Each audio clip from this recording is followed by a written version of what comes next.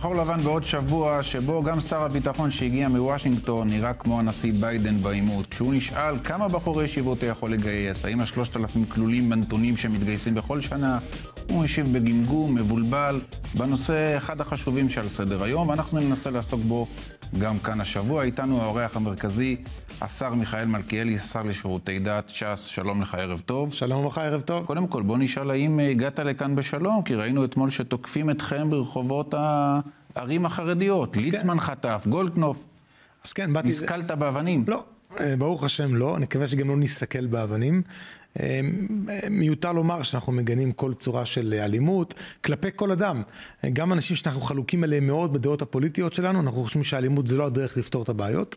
אבל זה מעיד על לאן הולך הציבור החרדי, זאת אומרת, לא, אם, הציבור החרדי לא. אם יישלחו עכשיו צווי גיוס בצורה רנדומלית, בלי הבחנה בין מי שלומד למי שלא, כפי שדורשת היועמ"שית, אנחנו נראה כאן הפגנות והתפרעויות ברחובות, לשם זה הולך? אני לא חושב שהרבנים יורו פעם אחת לציבור החרדי, לכו להפגין על מנת לאלימות. אנחנו ציבור שומר חוק, אנחנו ציבור שמעולם לא התנהגנו באלימות.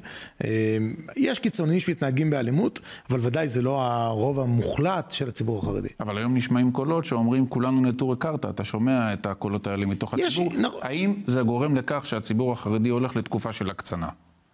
אני מקווה מאוד בציבוריות החרדית שלו. אני חושב שהקצנה, ודאי הקצנה אלימה, לא תורמת לאף אחד. ודאי גם אין בזה הרבה ריבוי קידוש, השם, אבל אה, כן, הציבור החרדי נמצא במצב שלא היינו בו אף פעם, כן? אם זה מול אה, משרד המשפטים, מול פקידים במשרד האוצר, התערבות בוטה בניהול המשרדים, מה שלא היה אף פעם. נדבר על זה תכף, אבל בסוף, הנקודה האמיתית שממנה אי אפשר לברוח זה סוגיית השוויון בנטל, וזו כבר לא שאלה של אחריות יתרה או פחותה, אלא של אנשים שופכים את דמם, מוסרים את נפשם, בשעה שאנחנו, הציבור החרדי כקולקטיב, לא שותפים למאמץ הזה. קודם כל- וכאן מגיעה תמיד השאלה, איפה אנחנו בסיפור הזה? אז אתה קודם- יודע מה, שים את אלה שלומדים בצד. בש"ס, אפילו בש"ס הכי מתונה בסוגיה הזאת, נשמעים היום קולות מכיוונה של מועצת החכמים שאומרים, גם מי שלא לומד, לא צריך להתגייס. קודם כל, אותם אנשים שאומרים את זה, אז אה, חלקם הגדול, אין לי ספק, חלקם מדברים מכאב, או שלא בקיאים בכל הסוגיה.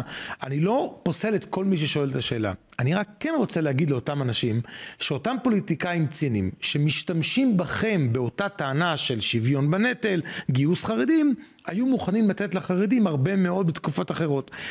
זה גנץ, לפיד. ודאי, העסקונה הזאת הם. הסכימו לתת את מה שהיום נתניהו של, לא מצליח. אומר, אותה עסקונה של האופוזיציה, שהיום תוקפת את החרדים, הרי הם היו עד לא מזמן בקואליציה, וגם לא ראינו שהם קידמו, ואותם אנשים היו... אומרים זה היה לפני השביעי באוקטובר, ומאז קרה משהו. נכון. אפשר להתעלם? לא, לא, לא מתעלם מכלום. אני רק אומר, הדיון הזה שלהם הוא דיון פוליטי. גם אם יביאו עכשיו חוק, אתה יודע, הכי, מה, ש, אה, מה שהם רוצים, האופוזיציה, הם לא הולכים עם זה. רגע, גם רוצים... עכשיו אתה אומר, אחרי המלחמה, הם ישבו איתכם בקואליציה ואמרו לכם אם אתם מוכנים ללכת איתנו. אתה מדבר על גנץ, אם אתם מוכנים ללכת איתנו ולקבוע יעד לבחירות, אנחנו זורמים איתכם אני, בחוק הגיוס. כל, אנחנו היה לא, דבר כזה? לא, אנחנו לא, לא יושבים איתם על זה. תמיד אני אומר לשמאל, אל תבנו עלינו. אנחנו נמצאים בגוש הימין, אריה דרעי הקים את גוש הימין. אני רק אומר, אבל הימין לא מספק סחורה.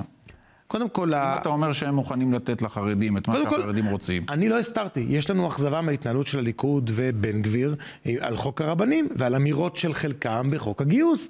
אין ספק שהיינו מצפים למשילות מוחלטת בנושאים שיש עליהם הסכם קואליציוני, שכולם חתומים, כולם הבינו לאיזה קואליציה הם נכנסים.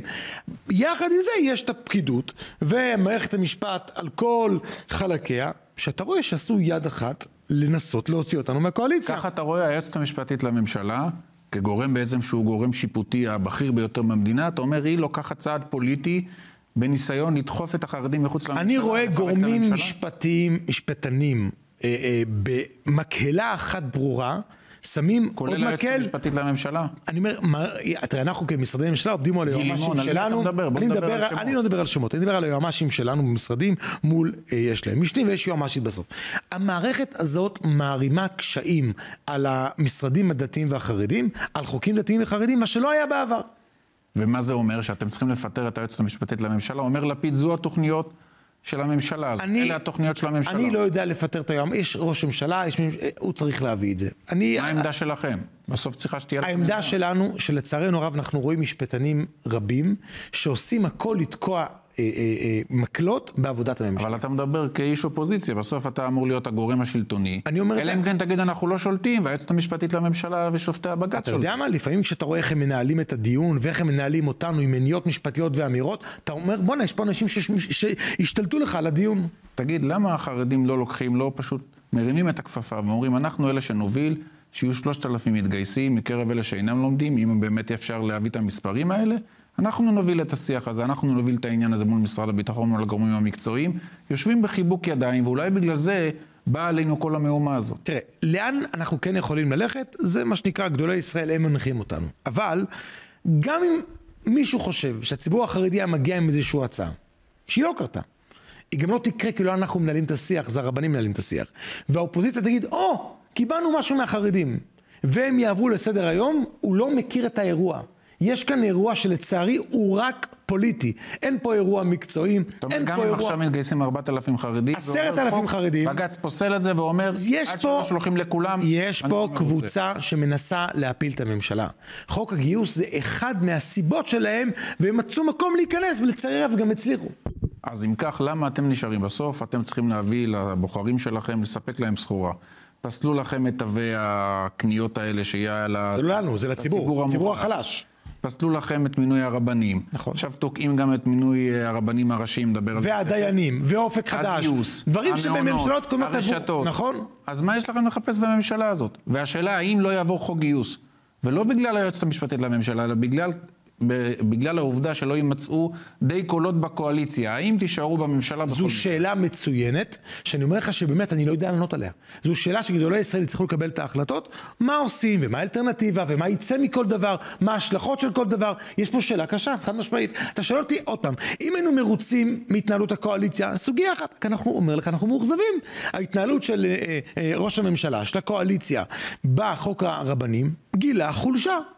גם מנתניהו אישית אתם מאוכזבים? אתה יכול לומר את זה? תראה, אני לא אומר את זה לבן אדם, בסוף יש פה התנהלות של קואליציה. בסוף יש ראש ממשלה. נכון, שיש בסוף. לך ראש מפלגה, הוא מנהל את האירוע. נכון. אתם מרגישים שנתניהו כבר לא מנהל את האירוע בממשלה הזאת? בשורה האחרונה נתניהו מאוד רצה שחוק הרבנים יעבור, ולא עבר. חוק הרבנים בסוף הייתה, אם נשים סוגריים, כי כבר חלף זמן, אבל זו הייתה בסוף טעות שלכם, לא קראתם נכון את המפה. למה? הרי אם הייתם יודעים שיהיה כזה עליהום ציבורי, לא הייתם מגישים את החוק הזה. תראה, קודם כל... בגלל שאתם מתחילת המלחמה הצטיירתם כאחת המפלגות היחידות בקואליציה, ואולי היחידה שהראש שלה נתון רק לענייני המלחמה. וזו הייתה גם הוראה של יושב ראש המפלגה שלכם, והנה תראה. כאן פתאום חזרתם להיות אותה מפלגה שרודפת ג'ובים ומנסה... לא, זה, תראה, אז. היה מישהו שניסה לצייר את זה כאיזושהי מערכת של ג'ובים, לצערי הוא גם לא קרא את החוק, הוא לא הבין את המשמעות של החוק, אבל האכזבה היא מאותם גורמים בליכוד, מתכוון ומ- לבן גביר, נדבר עליו. עליו ועל, ועל, שנסחפו אחרי אמירה של האופוזיציה. זה שהם מעוותים את המציאות, זו זכותם. כי בסוף, הם תפקידם להפיל את הקואליציה, זה אופוזיציה, בסדר גמור. אבל כשגורמים בקואליציה עיוותו את האמת, לא למדו את החוק, הפכו את זה למסכת של ג'ובים והאמינו להם, זה הכעס זה לא שלנו. ג'ובים. זה החוק, תפקידים. לא, ממש לא. חסר עכשיו רבנים תוך כדי מלחמה? התשובה היא, קודם כל החוק הזה התנגדו לו גם לפני המלחמה. זאת אומרת, הדיון מל- מלחמה או לא, זה לא זה הדיון. כי גם לפני המלחמה היה מי שהתנגד עכשיו לזה. צריך להסיט בט' אה, תקציבים. אין, החוק הזה. לא עולה כסף. החוק הזה הוא דרך איך ממנים, התקנים נמצאים. לא ביקשנו כסף חדש ממשרד האוצר. בסוף ביקשנו, הרי יש ארבע וחצי מיליון אזרחי ישראל נמצאים בערים בלי רבנים. ואני מסתובב בארץ, אני שומע את הקולות, הם רוצים רבנים, רוצים מישהו שילווה אותם אבל בשמחות. לא מדובר רק על רבני ערים, שזה דבר שאפשר להבין. מדובר גם על רבני שכונות. עכשיו תגיד לי, מה באמת צריך בשכונה שהיא לא שכונה דתית בכלל במ- במקרים רבים? מה צריך שם רב? כשיש לך רב עיר שבסוף כל אחד יכול להרים לו טלפון, ואין היום משמעות גיאוגרפית לשכונה. אז מאוד אין משנה. לך, אין לך אפילו... אה, אה, אין לך אפילו מרפאות באותה שכונה, כי אנשים לוקחים את הרכב ונוסעים לשכונה ליד. ובאותם, זה באותם, מה שחסר באותם בארץ. מקומות היה רבני שכונות? אתה חושב שירושלים דינה כמו ירוחם? לא. הכל היה בשום שכל, הכל הייתה בהבנה, היינו מוכנים גם להגיע לפשרות מרחיקי לכת, אבל מישהו רצה להפיל את הממשלה, וחלק משומרי הסף והפקידות חברו אליהם. ובכל זאת, למרות שספגתם עלבון, אי אפשר להתכחש לזה, והייתה שיחה מתוחה בין אה, נתניהו לבין דרעי. לא מכיר שיחה כזאת. למחרת, דרעי בעצם עשה איזושהי פניית פרסה ואמר, אנחנו לא נפיל את הממשלה, אנחנו עדיין מחוברים לגוש הימין, תסביר לי את שינוי המגמה הזאת. לא, זו, ש- אה, אין סתירה. אנחנו חושבים שהחוק הזה הוא חוק נכון, אנחנו חושבים שזו המטלה של ראש הממשלה להעביר אותה ולהתמודד עם המורדים שלו בליכוד ועם אה, סיעות מורדות כמו הציונות הדתית. אנחנו לא מפרקים קואליציה. לא מפרקים קואליציה, כאמירה. יש, הפירוק הקואליציה... בגלל האלטרנטיבה. אם יש, פיר, לא, אם יש פירוק קואליציה, זה לא אנחנו. זה גדולי ישראל, כמו שאמרתי לך בתחילת הדברים. תגיד, מה קורה עם הסיפור של הרבנות הראשית? הרבנים הראשיים זה השבוע האחרון לכהונתם. זה נראה לי לראשונה בתולדות ישראל שלא יהיו רבנים ראשיים מכהנים במשמרת שלכם. לראשונה בתולדות ישראל, שמשרד המשפטים והיועמ"שים שסביבו עשו הכל לתקוע את התהליך הזה. אנחנו היינו מוכנים לפני חצי שנה. משרד הדתות לא המתין יום אחד. אני שומע גורמים שמנסים... אני אומר ככה, אנחנו, משרד הדתות, מקבל פעם אחר פעם מקלות לתקוע את התהליך על ידי משרד המשפטים. הם לא הנחו אותנו על הרבה מאוד שאלות ששאלנו אותם, הכל מתומלל, הכל ממוסמך במיילים, עשינו הכל, שהכל יהיה בזמן. הם עשו הכל עם המצאות וחידושים לתקוע את התהליך הזה. מה למשל, תן, תדע, בסוף להאשים בצורה גורפת זה הדבר הכי קל. סיפורים של ניגודי עניינים... אומרים, משרד הדתות סיפ... הכניס, אה, רצה למנות למשל מקורבים לרבנים, לא היה ולא נברא. אף אחד לא ניסה לבנות מקורבים, הם רצו יותר נשים, אמרתי עשר הנציגים של השר יהיו נשים, הם התעקשו שהרבנים ימנו רבניות, לא נשים, רבניות, הצענו להם אחוז הרבה יותר גבוה של נשים, הצענו להם לתקן את החוק שמקרב ראשי הרשויות יהיו יותר נשים, הם התעקשו שהרבנים, מועצת תרמות ימנו רבניות, הם לא מוכנים. ואיפה הדברים עומדים? הצפי שלך, האם נחזה בקרוב בבחירת רב ראשי. אני מאוד מקווה שכן, אנחנו ערוכים להכל. אני הקמתי, דוגמה יותר נוספת, אה, אה, מינוי יושב ראש ועדה. אני התחננתי בפני המשפטנים אצלנו, להעלות אותם לממשלה. אם אני הייתי רוצה לתקוע, בשביל למה אני רץ אחריהם? פעם אחר פעם פסלו אנשים, והטריפו את המערכת. אני זה ששיגעתי עוד פעם להביא את זה לממשלה, ועד שאישרו את זה לקח זמן. טוב, בוא נראה לסיום משהו שאמר מישהו שאתה מאוד אוהב ומסמפת לאחרונה. בעוד נושא שהיה, שכלפיו הייתה היום מריבה גדולה בתוך הקואליציה. מחלוקת ביני לבין שירות הביטחון הכללי בעניין שחרור המחבלים אינה אם יש מקום בכלא או אין מקום בכלא. שב"כ רוצה להטיב את התנאים שצמצמנו. ואני אומר לא יקום ולא יהיה. בזמן שיש לנו חטופים רעבים ללחם בעזה, הם לא ייהנו מתנאי דלוקס. נפסקו הקייטנות. מאז המלחמה בנינו יותר מ-2,500 מקומות לאותם מחבלים ארורים. מאז המלחמה הכנסנו אלפי מחבלים לבתי הסוהר, אבל אין קייטנות, נפסקו התנאים המשופרים, לא יקום ולא יהיה. טוב, אחרי המריבה שלכם עם בן גביר הגיעה המריבה של סמוטריץ' עם בן גביר, ועכשיו הוא מאשים את השב"כ, וביבי מאשים את, את, את שופטי הבג"ץ. תגיד לי, מישהו פעם אחת ייקח אחריות בממשלה הזאת על משהו שקורה במדינה כאן? תראה, בן גביר יש לו טענות, אני לא נכנס לטענות שלו, לא יותר מזה. כשבן גביר הביא את החוק שלו של המשרד, הסמכויות, לא התווכחנו. הצבענו, כי זה שותפות. אם לבן גביר יש בעיה, מכנסים את ראשי הקואליציה. תדעו, שם פותרים את הבעיות. אבל לא יכול להיות שנוקמים בגלל בעיות שיש לך עם נתניהו, בשותפים אחרים קואליציוניים. השר מיכאל מלכיאלי, השר לשירותי דת ש"ס, תודה רבה לך, ערב טוב. תודה לכם, ערב טוב. מהגמגומים כאן בכנסת לגמגומים בעימות הנשיאותי, איתנו כעת עורך הדין עידו דמבין, כותב הבלוג מר דמבין הולך לוושינגטון, מומחה לפוליטיקה אמריקאית, ערב טוב לך. ערב טוב, שלומך. בסדר, בוא נתחיל מהסוף. האם אתה רואה את ביידן מתמודד עד הסוף בבחירות בנובמבר? אם הייתי צריך להמר באחוזים, הייתי אומר ש-80 מ-100 מקרים הוא מתמודד, כן. מתמודד? למרות, ש... כן. למרות שראינו שכל השבט שלו קם נגדו, ראינו את המאמר של פרידמן בניו יורק טיימס, ראינו את הקריאות מתוך המפלגה הדמוקרטית, ואם יהיה לו עוד עימות שבו הוא שוב ייכשל ככה בלשונו, אתה רואה אותו בכל זאת מתמודד? תראה, קודם כל, אם יהיה לו עוד עימות שבו הוא ייכשל בלשונו, העימות הזה יהיה בספטמבר. מה שלא משאיר זמן להחליף אותו... אחרי הוועידה. כן, זה לא רק אחרי הוועידה, זה כבר חודשיים לפני הבחירות.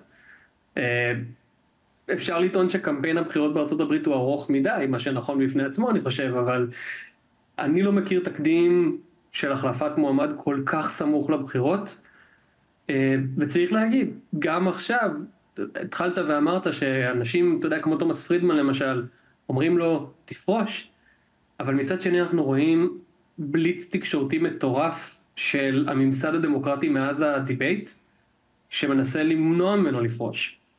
ואני חושב שהבליץ הזה בשילוב עם העובדה שאין היום מועמד שהוא מועמד ברור להחליף אותו, במובן שזה מישהו שיש לו בהכרח סיכוי טוב יותר, שני הדברים האלה מצטרפים ביחד לכך שככל שביידן לא, אתה יודע, לא יקרה לו איזה משבר בריאותי שאי אפשר להסתיר יותר, הוא ירוץ. יכול להיות שפתרון הביניים יהיה להצמיד לו סגן נשיא שהוא דומיננטי יותר, למקרה שהוא באמצע הקדנציה ירגיש, או שמסביבו ירגישו שהוא אינו יכול עוד, כמו שאמר בשעתו מנחם בגין. אה, זו שאלה טובה, אני חושב שיש בעיה איתה. אה, קמלה האריס היא סגנית לא פופולרית במיוחד, ויש שאמרו שהיא גם לא הייתה מוצלחת במיוחד במובן שהיא לא הותירה חותם כסגנית. מצד שני, למפלגה הדמוקרטית יש קואליציית תמיכה שחלק גדול ממנו מבוסס על הציבור השחור, שאגב גם חטף, לא נגיד קללות, אבל uh, סוג של השפלה מטראמפ בעימות, מה שזורק אותם חזרה לכיוון של ביידן, ועכשיו להחליף סגנית שהיא אישה שחורה במישהו שהוא בהכרח לא יהיה אישה שחורה, יכול להיות שזה תהיה אישה, יכול להיות שזה יהיה שחור, אבל זה לא יהיה שניהם, כי אין מישהו בקליבר שלה, סנטורית לשעבר וכן הלאה, זה, זה עשוי ליצור לביידן בעיה מאוד מאוד חמורה עם הציבור הזה, עם האלקטורט הזה.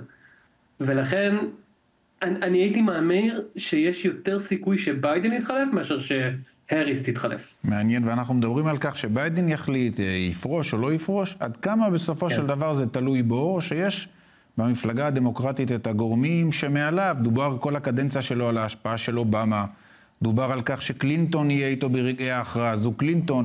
עד כמה באמת ההכרעה בידיים שלו? אני חושב שבשלב הזה, קודם כל צריך לשלול את התזה שאומרת שאובמה או קלינטון הם מעליו.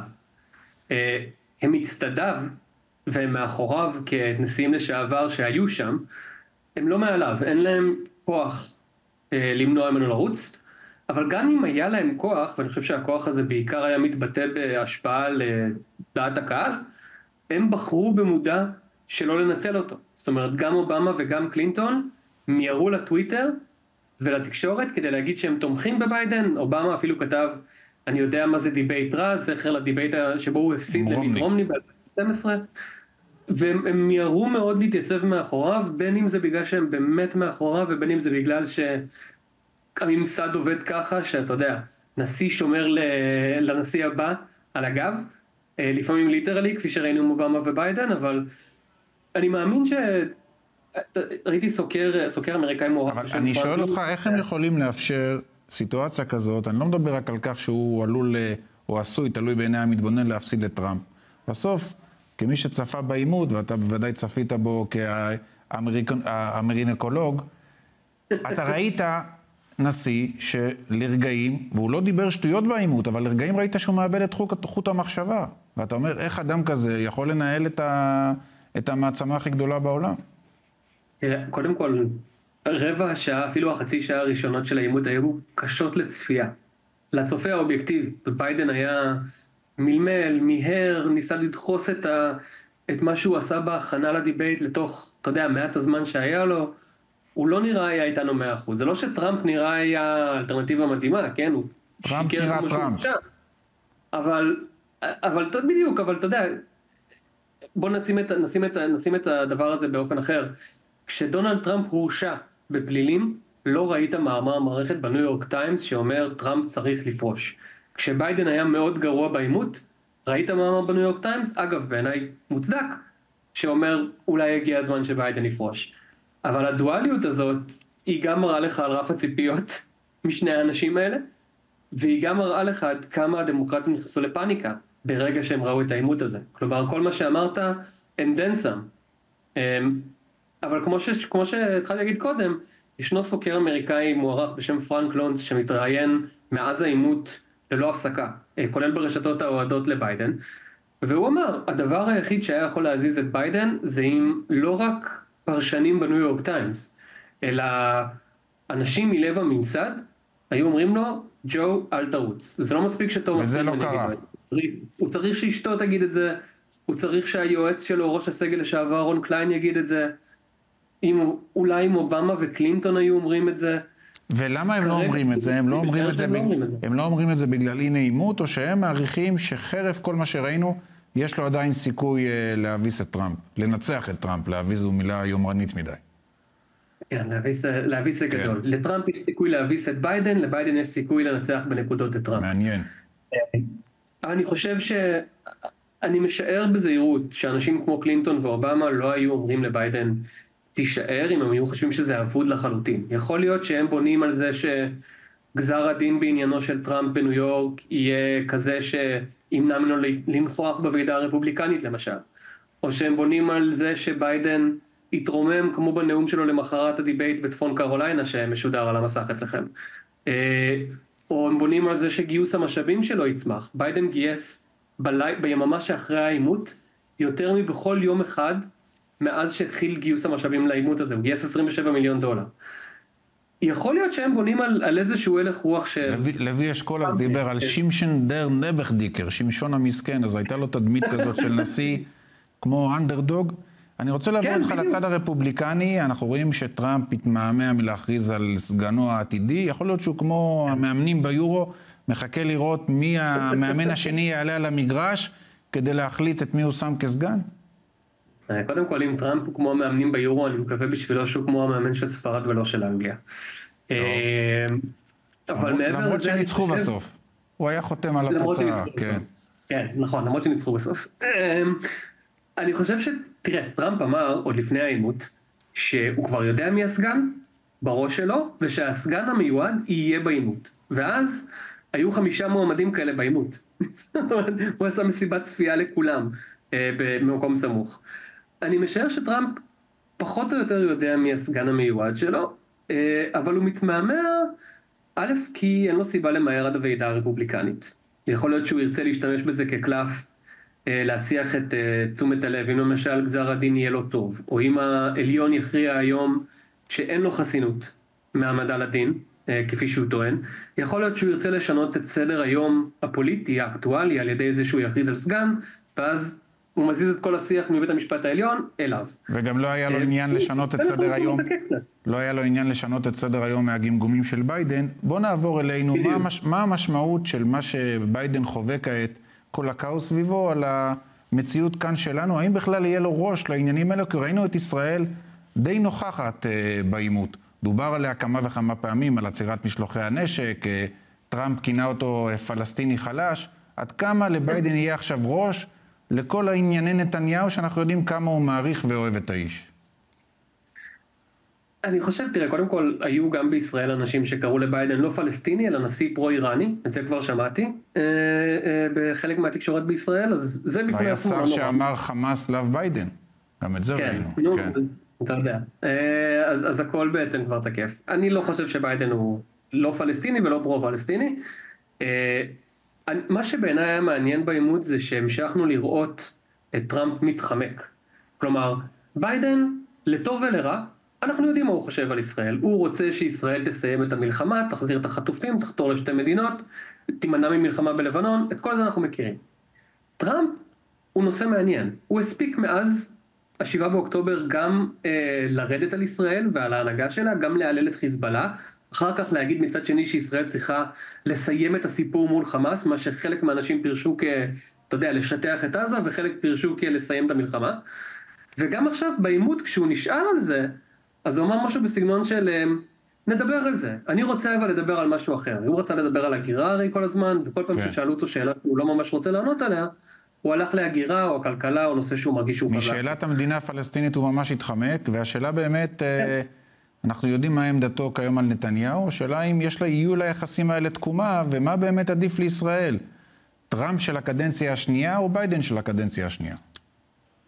אה, התראיינתי לפני אה, פחות מ-24 שעות לעיתון משפחה, ושאלו אותי את אותה שאלה בדיוק. אה, וש, ושם המראיין אמר, ופה לא הסכמתי איתו, שלדעתו טראמפ הוא נשיא טוב יותר לישראל, וביבי נתניהו ראש ממשלה טוב יותר לישראל מאשר כל אחד אחר. עכשיו, בהנחה ושני האנשים האלה ימשיכו להנהיג, זה דבר אחד. בהנחה וביידן ממשיך להנהיג עם נתניהו זה דבר אחר, ובהנחה וזה ביידן או נשיא דמוקרטי אחר עם ראש ממשלה שאינו נתניהו, זה דבר שלישי. בעיניי, מדינת ישראל וממשלת ישראל, לא משנה מי מנהיג אותה, צריכים לרצות, וזה האינטרס שלנו, בחיזוק השותפות עם ארה"ב כמה שרק אפשר, regardless, לא משנה מי הנשיא, בין אם זה טראמפ ובין אם זה אה, ביידן או האריס או כל אחד אחר, או ג'יי די ואנס בעתיד. ולשמור על מדיניות ה bipartisan, וכאן אני רוצה לשאול אותך לסיום, אנחנו עם הפנים קדימה לסוף החודש, לנאום הצפוי של נתניהו בפני בתי הנבחרים, האם באמת אנחנו נראה מחאה שתאפיל על אה, ביקורו של נתניהו שם, כפי שמתכננים אה, הארגונים הפרו-פלסטינים? אם היא תעפיל או לא תעפיל זה שאלה של סיקור, אני משער. במילים אחרות, האם תהיה מחאה? אני משוכנע שכן. אני מאמין לדמוקרטים, בעיקר לפרוגרסיביים מביניהם, כשהם אומרים שהם יעשו מחאה. בסוף הם לא רוב בבית הנבחרים, כך שעדיין יהיה רוב בבית הנבחרים, קטן אולי, אמ, אולי קטן מבעבר, שיהיה שם ויריע לנתניהו וייתן לו את ה standing ovation, כל משפט שני, אה, כשהוא ידבר על השותפות האמיצה והחברות בינינו וכולי. עד כמה זה יהיה דרמטי, זו שאלה של באמת... הפרופיל של האנשים, אם באמת אנשים כמו ברני סנדרס ואליזבת וורן יחרימו את הדיון הזה, אמ, ואיפה יהיה הנשיא בתוך כל הדבר הזה. וביבי תמיד יוכל להגיד שהוא אה, הופיע שם יותר מאשר אה, צ'רצ'יל, אבל זה עניין לעוד שיחה. עורך דין עידו דמבין, כותב הבלוג, הבלוג מר דמבין הולך לוושינגטון, הרגשנו לשעה קלה כמי שצועדים איתך ביחד. תודה רבה, ערב טוב. תודה, ערב טוב. ועכשיו איתנו הרב צוריאל קריספל, מייסד העיר אלעד ויושב ראש מועצת בתי העלמין בירושלים. שלום לך. שלום, שלום. ערב טוב. אתה יודע, אני אומר לך, הרב צוריאל קריספל, בניגוד להרבה פוליטיקאים שמתהדרים בתואר רב, אתה קיבלת את השמיכה לרבנות ממרן הרב עובדיה יוסף. אה, אכן, זכיתי לשבת וללמוד אצלו בבית המדרש, אה, הייתי איתו צמוד הרבה שנים, הייתי המשב"ק שלו. ו? הוסמכתי על ידו. לצד זה שלמדת אצלו והוסמכת על ידיו, אתה הלכת, לא הלכתי. בהחלטה שלך, הוא ד... לא. הוא... רגע, רגע, רק להשלים, והיית גולנצ'יק שלוש שנים, כולל שירות מילואים. כן, זה היה הרבה לפני שהגעתי. איך השילוב הזה? הרי היום מדברים על כך שלא יכול להיות שילוב כזה של אה, תורה וצבא. אני אכן למדתי בישיבות בירושלים, ישיבה קטנה וישיבה גדולה. בשלב מסוים החלטתי ללכת ולשרת. אה, שירתתי, יותר נכון, ארבע שנים בגולני, כי יום השחרור שלי היה ביום פתיחת המלחמה של שלום הגליל הראשונה. וגויסתי לקבע מתוקף היותי לוחם, ועד סיום המלחמה עדיין שירתתי בדרום לבנון. עשיתי את כל המסלולים, היינו כוח החוד שהוביל את צה"ל לאורך כל הלחימה כולה, מהזהרני ועד בחמדון. ולאחר מכן... והרב הוא זה שאמר לך ללכת להתגייס? לא, מרן הרב עובדיה? לא, לא, לא, לא, לא. זה, זה, זה הנקודה שמעניינת, תספר לנו. אנחנו באנו מבית יהודי מסורתי, שבבית אה, קראנו את הספרים על אריק מן הצנחנים ומאיר הר ציון. זה היית מורעל כבר מהבית. היינו מורעלים, אבל כיוון שלמדתי בישיבות, אה, ידענו שהערך של לימוד תורה הוא ערך עליון. לצערי הרב למדתי בישיבה ליטאית בבריסק, הייתי הבחור הספרדי היחידי, הייתי הבחור בישיבה עם כל הענווה שבדבר. ומי שזוכר את התקופה שבה הרב עובדיה נהיה רב ראשי לישראל, השנאה במחנה הליטאי לרב עובדיה הייתה קשה מאוד, ואני כתלמיד שלו לא יכולתי לסבול את זה. אה, סיפור ארוך, יום אחד קמתי והחלטתי שאני מתגייס, ולמחרת כבר הייתי בבזק. אבל אני רוצה לשאול אותך, היום אתה לא יכול להסתובב כאדם חרדי, ואתה בסוף אדם עם חזות חרדית, אתה משמש... בשונה מהחרדים אחרים. רגע, ושואלים אותך בטח כל הזמן, למה אתם לא מתגייסים? אתה אומר, אני בעצמי גולנצ'יק, אבל בזה לא אין זה. תשובה. לא כששואלים אותך מה קורה עם כל המסה הזאת של החרדים, ואתה יודע מה, נשים בצד את אלה שלומדים, אלה שלא לומדים, אנחנו שומעים היום קולות מכיוונה של מועצת החכמים שאומרים שגם מי שלא לומד, אסור לו שיתגייס. בשעה ש... אז א', אני לא מתבייש, אין לי. בעיה להסתובב כחרדי, כי אני מסתובב עם אה, נשק ארוך, קבוע, אני מפקד כיתת כוננות בשכונת רמת שלמה, תכף נדבר גם על זה. אוקיי? אה, לא שמעתי את מישהו ממועצת החכמים שאומר שאלה שלא לומדים לא יתגייסו, הבעיה היא אחרת. לא, לא, הוא לא אמר את זה, אני שמעתי את הדברים שלו הדק היטב וכמה פעמים. הוא אמר שהצבא לא מוכן כדי לקלוט את האוכלוסייה החרדית שאינה עובדת. זאת אומרת, אומר, אני לא משטרה צבאית, אני לא אלך ואקטוף את הבחור מהבית שלו ויגיד לו, לך ליחידה או לצבא, שלא נותן לך אפשרות לא כשרות ולא סביבה טבעית נורמלית. אני מעריך שאם הצבא היה עושה עבודת הכנה, מבלי לצעוק לפני כן, בואו, בואו, בואו, אבל לאן לבוא? אם אני, אני כגולנצ'יק, באתי כיפה שחורה ויצאתי בלי כיפה מהצבא, אה, יצאת בלי כיפה? יצאתי בלי כיפה לצערי הרב, כי לא ידעו מה זה כיפור, לא ידעו מה זה שבת, לא ידעו מה זה תפילין אפילו. אחר כך חזרת שוב? אחרי זה, ברוך השם, כן, אני חזרתי לא בחזרה. ידעתי, אנחנו מכירים הרבה שנים, נכון, גילוי נכון, נאות, ולא נכון, ידעתי. נכון, נכון, נכון, היה לי מאבקים קשים, אפילו הגעתי לכלא בגלל שמירת שבת, ישבתי בכלא 6 ובכלא 4, אני... אבל היום המצב שונה, יש... לא, המצב לא צה"ל שונה. לא, חרדית. המצב לא שונה, אני יש אסביר ועדת לך. שקדי עם ידיד, ידיד משותף שלנו, הרב רם רייבד. אני אסביר לך. שישב שם, וצה"ל מוכן, איך אבי, אמר הרב מנכ"ל. אנחנו צריכים אתכם, אנחנו מוכנים... אבי, מי שצריך רק אותי... להשלים את השאלה, ואתה בסוף חלק מהממסד של ש"ס, אז למה כן, החרדים לא אני- באים ואומרים. אנחנו רוצים להיות שותפים לתהליך הזה, שיאפשר לחרדי להיכנס כחרדי ולצאת כחרדי. אז לו יצויר שהצבא היה כזה הנה חינמי, אני מאמין שההיענות הייתה שונה. בתקופה שאני הייתי בצבא, המפקדים שלי לא ידעו מה זה שבת, לא ידעו מה זה תפילין, חבר'ה מהקיבוצים, ובצדק, לא ידעו, כי לא ידעו. היום זה לא שלא יודעים, יודעים ולא רוצים לתת לך להתקיים כיהודי יהודי חרדי, הפרוגרסיביות שולטת בכל מקום, בכל מצב. לו יצויר, ואני פניתי מעצמי ליוסי לוי, מנכ"ל נצח יהודה. אמרתי לו, יוסי, לפני שעושים משהו, בוא נשב ביחד, נבנה מערך נכון, נבנה מחנות צבא, לצבא, מהטירונות ועד סוף השירות, שהכל יהיה על טהרת הקודש, שיהיה מפקדים מיראי שמיים, שלא יהיו שם את הבעיות של, של מה שנקרא תערובת נשים וגברים, שהאוכל יהיה מהודר. אני אומר לך, אני אלך לרב רב, אני אלך בעצמי, אני חושב שזה חשוב, עת שרה אל יעקב. אחריכם ישבו, ילכו למלחמה ואתם תשבו פה, אני, אני מהיום, ל- מה, מהיום השמיני, במוצאי הש- השביעי לאוקטובר, פניתי לשר הביטחון פנים, פניתי למפכ"ל, פניתי לשר, לשר, לשרים שאני מכיר, פניתי למפקד המחוז, בואו חבר'ה אני רוצה להקים כיתה כוננות, השכונה שלי שואפת מטר תכף נדבר משואפת, על זה רגע. אני רוצה כן לפרט צריך את זה. להתאים רבות, צריך אבל להתאים, נוצר הרושם שהכל זה תירוצים. אני- בסוף, לא, לא, הבעיה היא לא. הסיפור האמיתי שלא רוצים להתגייס, אז פעם זה הצבא לא מוכן להיערך, וכשהצבא אומר אני מוכן, אומרים לא, אתה לא מספיק הבעיה היא. אחרת. ואחר כך אומרים בג"ץ כופה עלינו וזו היועמ"שית, וכל פעם אני אסביר, אני. אסביר, אני אסביר, אני חושב שאין איך לב, מביאים למצב שבו אמיתי יהיו 3,000 מתגייסים חרדים, ואני, בסוף אנחנו אנשים שמאמינים בערכיות של התורה, ואנחנו מדברים על אלה שלא לומדים. הרי זה משהו שאמר הרב שך, משהו שאמר הרב עובדיה משכבר הימים, שמי שלא לומד, שיתגייס. ברור לך ולי ולכל מי ששומע אותנו שאין יהודי שהלב שלו לא נקרע בעקבות מה שקרה בשביעי לאוקטובר.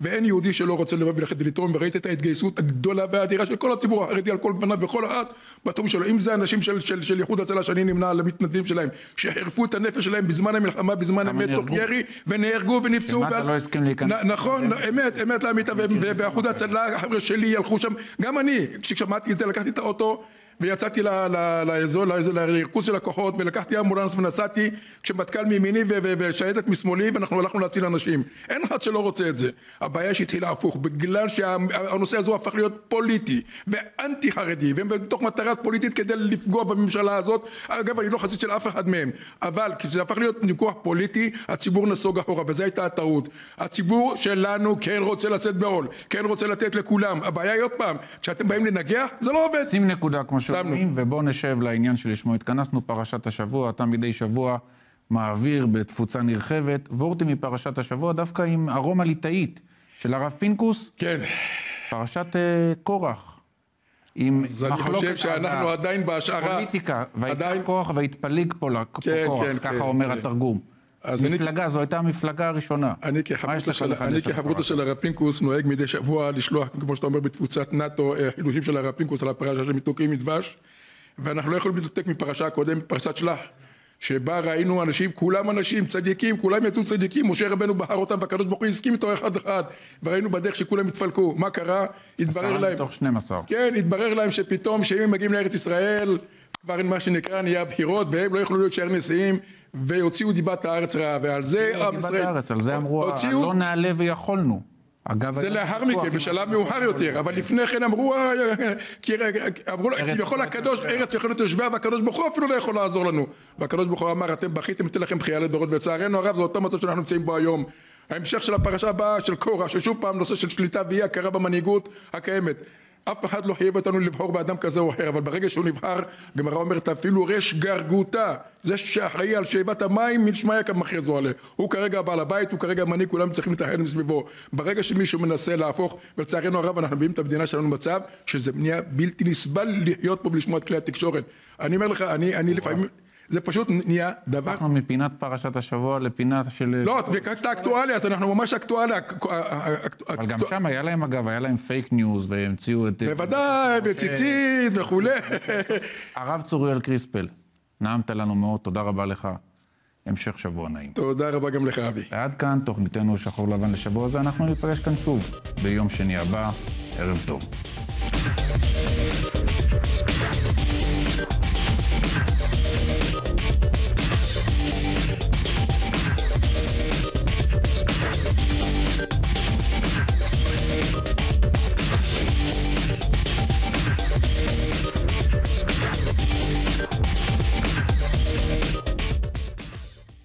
option